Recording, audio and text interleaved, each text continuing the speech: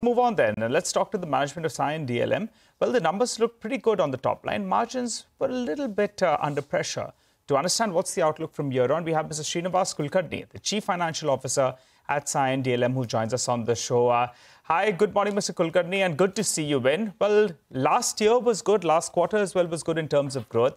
And I understand that you're guiding for around 30% revenue growth for FY25 and the next couple of years as well. Give us a few more details. You're also saying that margins will start improving from year on because of the various measures that you all are taking, and some of those one offs will be out of the way. What is the margin guidance? And also ROCE? You're talking about 15% and 25% in the next few years. What are the levers in place out there? Thank you. Thank you for the opportunity to talk to you today. Uh, so we had a good quarter. Uh, I think uh, we had a, from a full year perspective, we had a growth of in excess of 40%. Uh, this is what we had expected at the beginning of the year when we did our roadshow earlier for the IPO, and which, is what the expectation that was set for the market. Uh, the growth outlook uh, continues to look strong in this industry. As you know, EMS as a whole, is growing 30% uh, in India.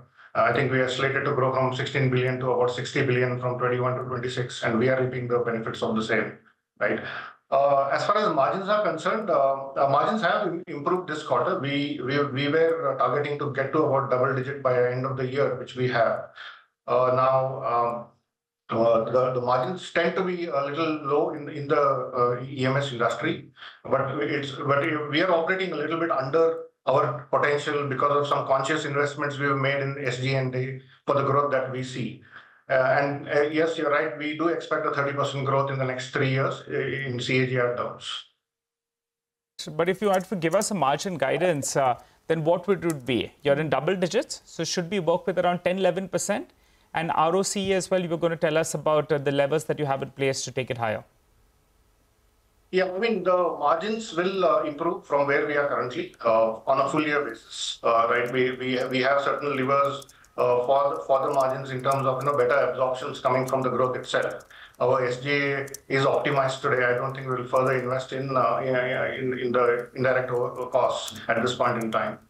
Uh, with respect to the ROC, we are currently operating around 11%, and we hope to get to about 15% in the short run and about 25% in a steady state. Uh, I mean, the basic levers are, uh, you know, as you deploy the, and, uh, you know, the capital properly, I think that there's better returns coming out of the, the in a bit form for us as a company. I want to talk a little more about your order book, uh, Mr. Kulkarni, because you know that is down year on year since the last three quarters. I understand that your order book currently is at uh, somewhere around 2200 odd crores. Um, you have explained that this is perhaps because of the lumpiness in the order book, the pressure. But can you tell me over the next couple of quarters, how are you seeing orders shape up? What is uh, the order visibility over the next 12 to 18 months? Yeah, the order book uh, will definitely improve in the coming quarters. Uh, we are okay. we are working on several large pipelines uh, and opportunities which are likely to get converted in the coming quarters right? I, I, and the lumpiness is there. I think some of these orders for, for two years. So till as you consume the orders, you will see the uh, net order book going down, but then you will also get a large order at the end of that tenure. So some of that plays in as well.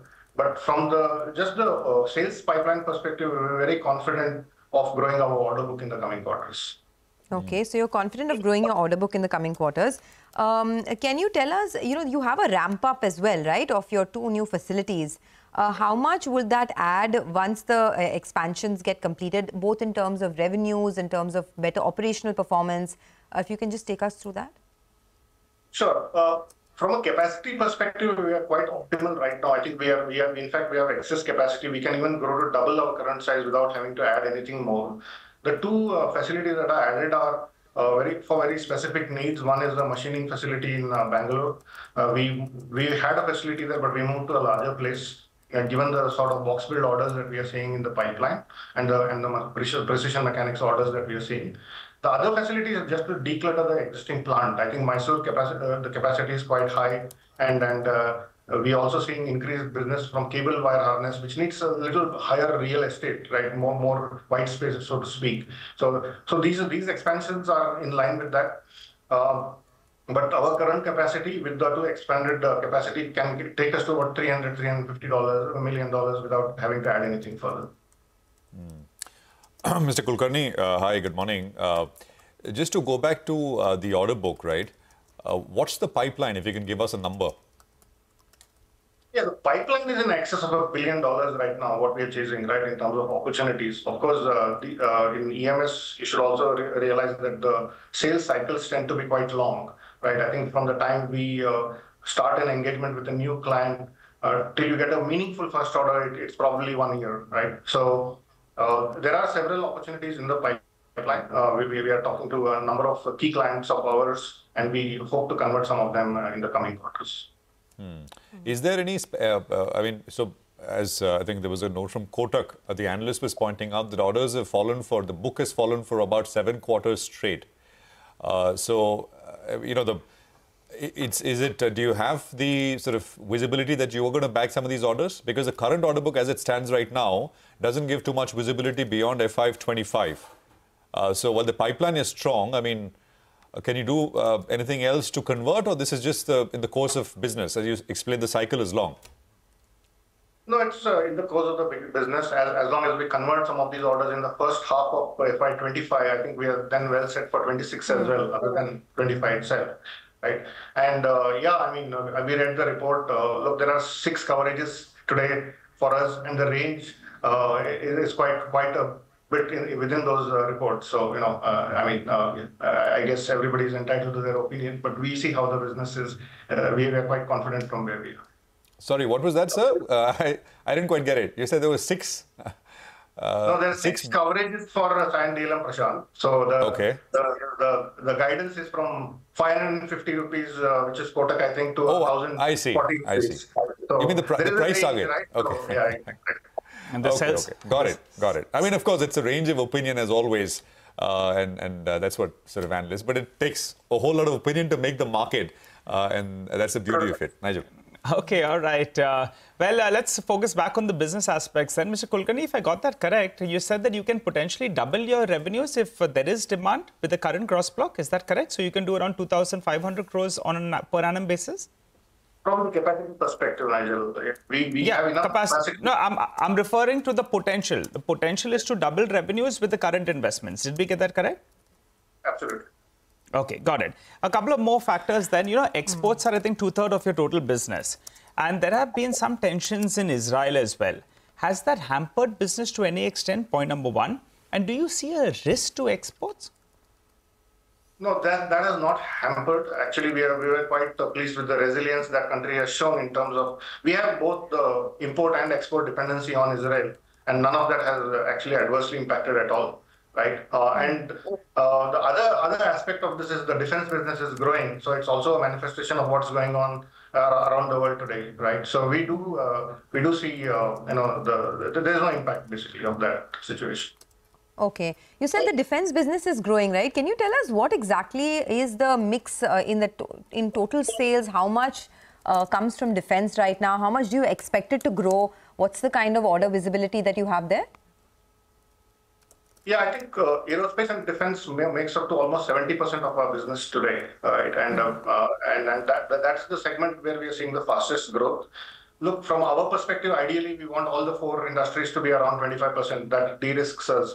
But uh, even even from a pipeline and where we are seeing the opportunities, much of the traction is in aerospace and defense, and we will obviously cash cash on that one.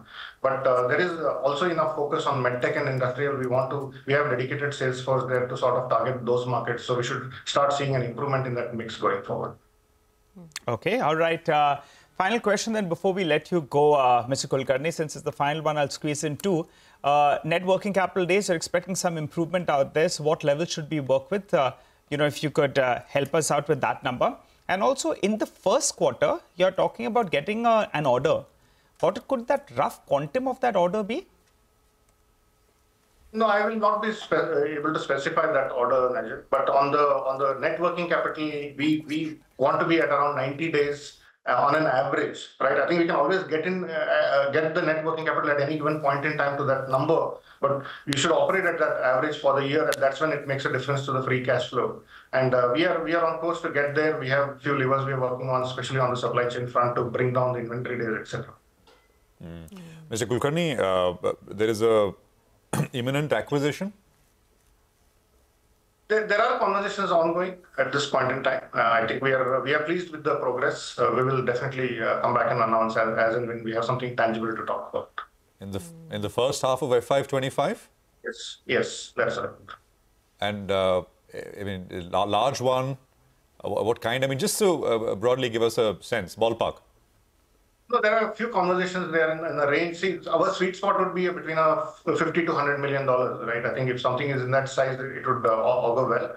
The criteria for us to acquire is to sort of enhance capabilities, get some geographic expansion because some of our clients are outside of India and they prefer proximity, etc.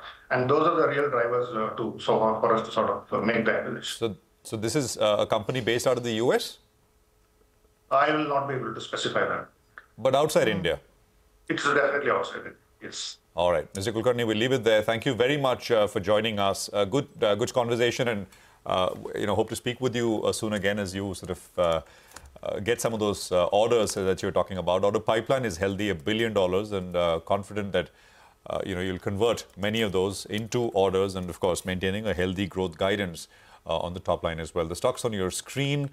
This is, of course, the pre-open. Stocks opened up about five and a half percent, 725. Let's just quickly take a